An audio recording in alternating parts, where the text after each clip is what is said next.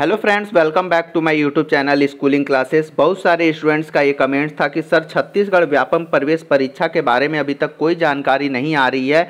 तो इस वीडियो में आप लोगों को ऑनलाइन आवेदन से संबंधित पूरी जानकारी देने वाला हूँ कि कब तक आप लोगों का छत्तीसगढ़ प्री पॉलिटेक्निक प्रवेश परीक्षा इंजीनियरिंग प्रवेश परीक्षा फार्मेसी प्रवेश परीक्षा नर्सिंग प्रवेश परीक्षा, कृषि प्रवेश परीक्षा और बी प्रवेश परीक्षा का ऑनलाइन आवेदन आ सकता है। ठीक है, इस वीडियो में पूरी जानकारी देखेंगे। आप लोगों के पास अगर डॉक्यूमेंट नहीं होंगे तो वे सभी डॉक्यूमेंट आप बना के रख लें ताकि आप लोग आसानी से अप्लाई कर सकें, ठीक है? देखते हैं हम लोग कि, जो ये जो आरक्षण के वजह से जो ये प्रवेश परीक्षाएँ हैं, ये क्यों रुकी हुई हैं? ठीक है तो यहाँ पे देखिए, प्रवेश परीक्षाओं की तिथियाँ अब तक घोषित नहीं, पर प्रवेश परीक्षाओं में फिर आरक्षण का पेज जैसे कि आप सभी जान रहे होंगे कि इन सभी प्रवेश परीक्षाओं में आरक्षण के तहत प्रवेश दिया जाता है। तो अभी तक इसलिए आप लोगों का ये आवेदन नहीं आया है, क्योंकि अभी तक आरक्षण पर कोई भी निर्णय नहीं लिया गया है, ठीक है? लेकिन इसको देखते हुए भी पिछले साल जो कि आप लोगों का 8 अप्रैल तक आ चुका था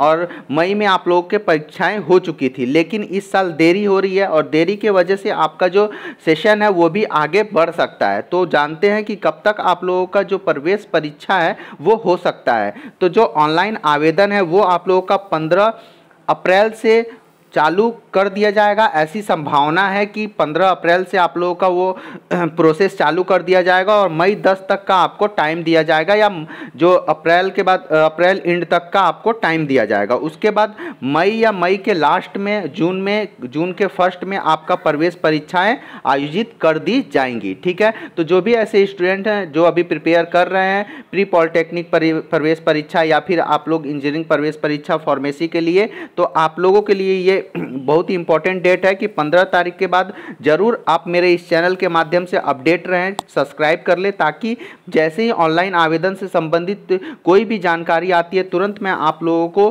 प्रोवाइड करा दूँगा, ताकि आप लोग अच्छे से, आसानी से अपना पूरा प्रोसेस कर सकें।